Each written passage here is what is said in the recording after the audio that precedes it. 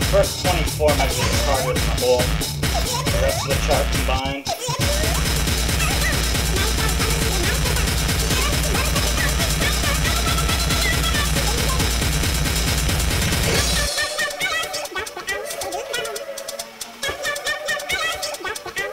Double.